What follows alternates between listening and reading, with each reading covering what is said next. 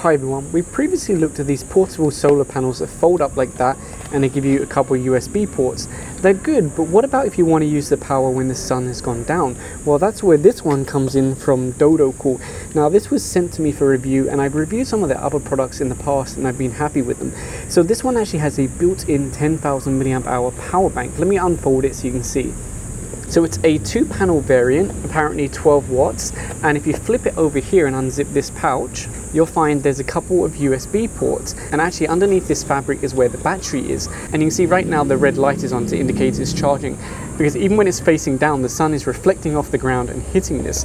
Now the ideal way to use this is actually with the built-in stand and it's really nice because it's adjustable so you can get just the angle you want. So you can have it like that or you can loosen it up a bit and have it at a steeper angle. So that's perfect for angling this towards the sun.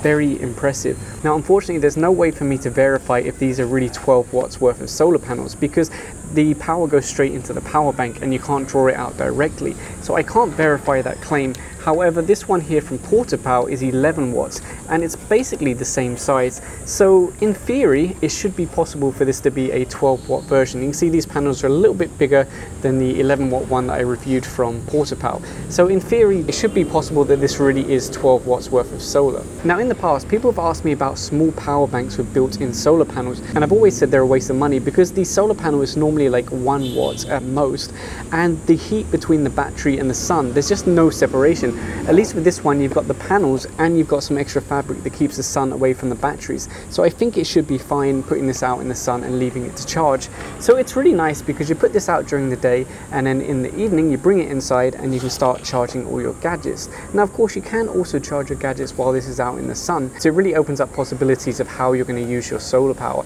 This is really a great all-in-one for anyone who goes camping or hiking or just wants to be prepared if there's a power outage. Because not only are you harnessing the sun, but you're storing the power for later as well. So let's connect my cell phone and see if it starts charging. It should. Now I'm not sure if you can even see my screen on camera, but if you look up here, it is charging.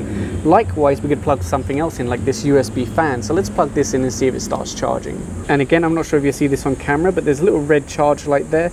And even if we take the battery out of this, I'm sure it will run from the USB port without any problem. So let's try that and there you go it's on. And I can tell you that feels so good because it's very hot out here. I'm literally melting and on the back here if you press this button it shows you how much charge is in the power bank now I'm not sure if you'll be able to see this on camera but at the moment it's at two full bars and half flashing so yeah, just put this out in the sun, let it charge, and then charge your gadgets whenever you want. So if you're interested in finding this, like I said, this was sent to me for review. Um, I'll put some links in the video description down below where you can buy this. So if you have any questions, put them in the comment section down below. And if you enjoyed this video, please give a thumbs up and subscribe. Thanks for watching. Oh, and one more thing, for anyone who likes these portable solar panels, let me show you something that's going to be coming soon. So if you thought this panel was cool, look at this one. This is 100 watts and it folds up also. Um, let me do this the right way. There you go.